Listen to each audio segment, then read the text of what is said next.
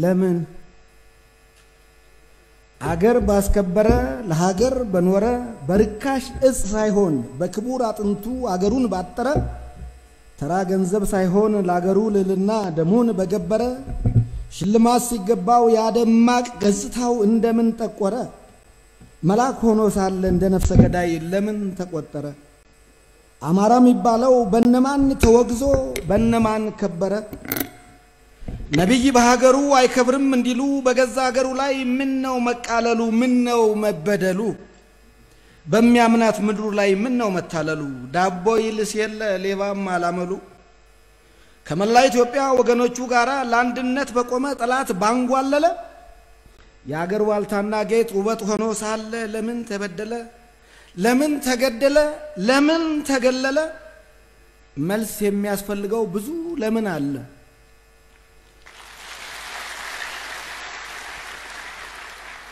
በአቋቋም ቅመራ በቅኔው ምስጠራ በጣም ብዙ ብዙ ብዙ ገድል የሰራ በሀገር ፍቅር ነዲድ ከጧፍ የሚያበራ እንኳንስ ወዳጁ ጎረቤቱ ሳይቀር በስሙ የኮራ ነበረ እኮ አማራ።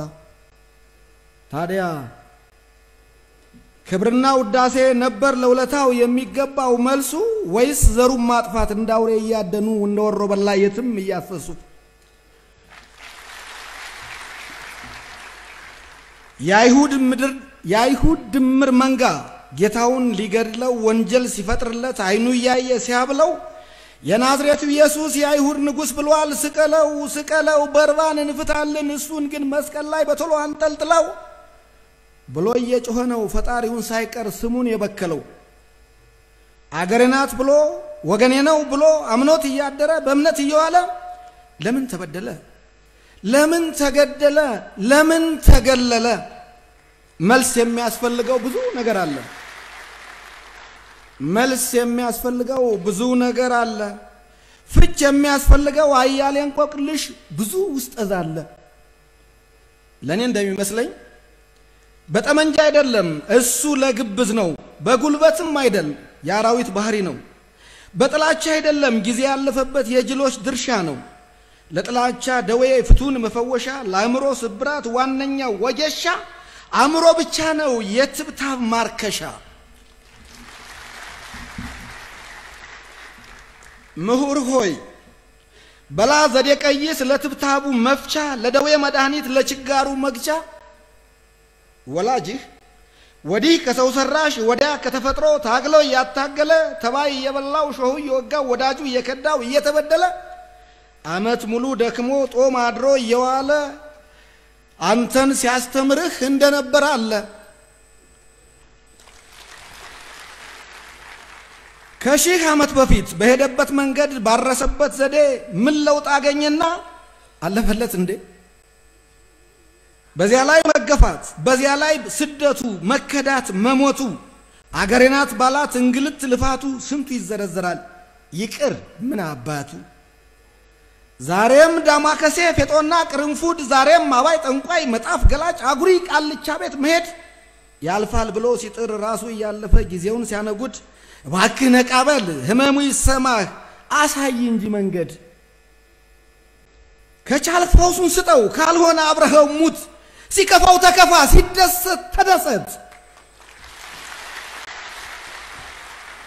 ሲያለቅስ አብረህ አልቅስ ሲስቅም ተንከትከት ይሄው ነው ዝምድና ይህ ነው ወገን ማለት የተፈጥሮ ሳያንስ ሰው ሰራሽ ተባዩ ጎኑን እየላሰው ለተገፋው ዋልታ እንዳልነበር ሁሉ የረባው ያልረባው እየጎነተለው አገሩ ጠፍታበት አገሩን ፍለጋ አገር እንደሌለው ዝምታው ምንድን ነው?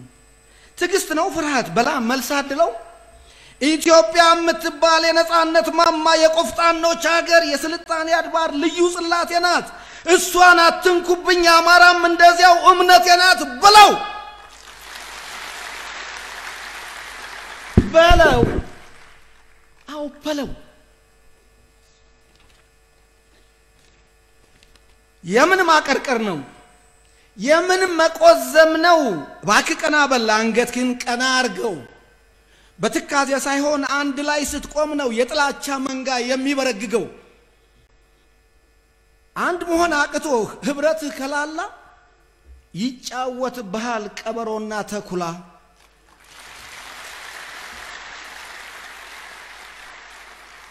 ከስር እንዲነቀል ትብታቡ ሰንኮፉ የሰመረ እንዲሆን የክፉ የደጎ የጊዜያችን ሰልፉ ሁሉም ከተኛበት ይቀስቀስ ይወገስ ይበቃል እንቅልፉ። ለችግሮች መፍቻ አንድነት ብቻ ነው የማይዝገው ቁልፉ።